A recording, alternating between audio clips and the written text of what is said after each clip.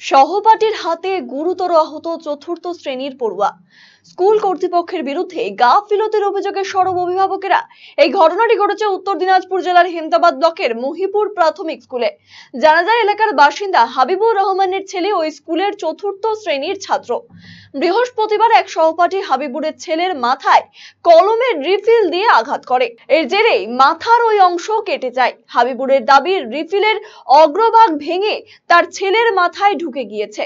এই ঘটনার পরেও স্কুলের শিক্ষকরা বিষয়টি অভিভাবককে জানায়নি। বর্তমানে ওই শিশুটি অসুস্থ রয়েছে। শুক্রবার এ নিয়ে বিদ্যালয়ে গিয়ে ক্ষোভ প্রকাশ করেন হাবিবুর এবং অন্যান্য অভিভাবকেরা যাকে ঘিরে সাময়িক উত্তেজনা তৈরি হয় স্কুলে। ওই কালকে আমার ছেলে কলমটাতে গুতা মারে মাথাটা কানা করে দিচ্ছে আর ওই রিফিলটা ঢুকে আছে ওখানে। সহপাঠী কে মেরেছে? সহপাঠী? হ্যাঁ হ্যাঁ ওর স্টুডেন্টে ওর ক্লাসেরই ছাত্র? কালাসারি ছাত্র। কোন ক্লাসে পড়ে তারা? ওরে আসলাম যে ওই মাথাটা কেন কানা করল? ওইটা আছে রিপোর্ট করাইছি ছেলেটার। আজকে তিনটার সময় রিপোর্টটা দিবে। টিচারদের মানে নজরদারির অভাবেই কি এটা হয়েছে মনে করছেন নাকি? হ্যাঁ ওদের নজর অভাবেই। তো এখন কা- পরিস্থিতি আছে আপনার ছেলের এখন তো শুয়ে আছে জ্বর প্রচুর আছে। কোথায় লেগেছে মাথায়? মাথায় ওই যে ব্রেনটা এখানে। কি ঢুকেছে? ওখানে কিছু ঢুকে আছে? ওই কলমের রিফিলটা।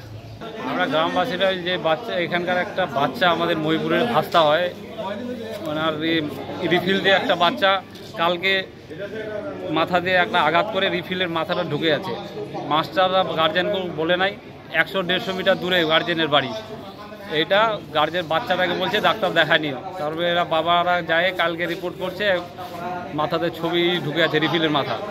যদিও স্কুলের ভারপ্রাপ্ত প্রধান শিক্ষক চিন্ময় মণ্ডল এ ধরনের ঘটনা আগামীতে সতর্ক হওয়ার আশ্বাস দিয়েছেন।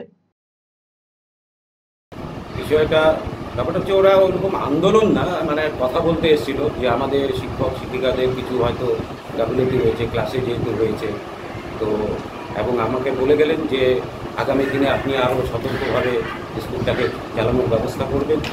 আমিও তাদেরকে সেইভাবেই কথা দিলাম। আপনি স্টুডেন্টকে দেখেছেন? হ্যাঁ দেখেছি।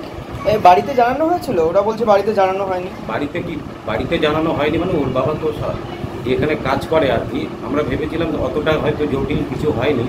সেই জন্য আমরা প্রাথমিক একটা ট্রিটমেন্ট করে তাকে বলি যে হচ্ছে ওষুধের দোকানে গিয়ে একবার চেক আপ করিয়ে আপনার শিশু কি অটিজমে আক্রান্ত?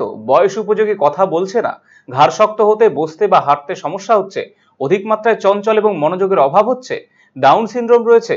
বন্ধু বান্ধবের সাথে মেলামেশা করতে সমস্যা হচ্ছে? লেখাপড়ায় অনীহা দেখতে পাচ্ছেন? এই সমস্ত সমস্যার homoeopathy, physiotherapy occupational therapy special education behaviour therapy speech therapy counselling এবং গ্রুপ ক্লাসের মাধ্যমে সমাধান করা হয় সেবানিকেতনে। সেবানিকেতনের ঠিকানা Ukilpara Ramkrishna Sarani, Raiganj. Mobile number seven double zero one five six four eight five four nine nine three two seven one six six one nine